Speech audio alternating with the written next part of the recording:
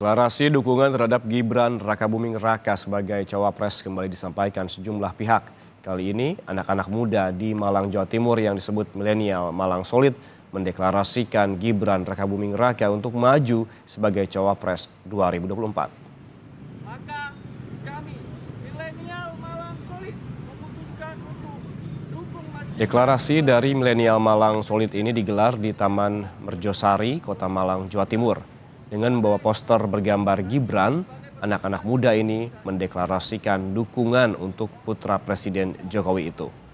Menurut mereka, dipilihnya Gibran sebagai cawapres karena sosok Gibran memiliki rekam jejak yang bagus dalam kepemimpinannya sebagai wali kota Solo.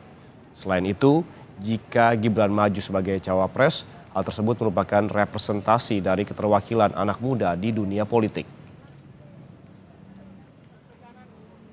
Menurut kami, Mas Gibran sangat cocok ditempatkan sebagai cawapres siapa pun gitu, karena eh, kapasitasnya dalam eh, berjejaring dan juga eh, mengorganisir suatu pemerintahan itu cukup eh, terbuktikan. Jadi siapa pun nanti pilihannya Mas Gibran, entah itu Prabowo, Anies maupun Ganjar, kita akan terus mensupport Mas Gibran.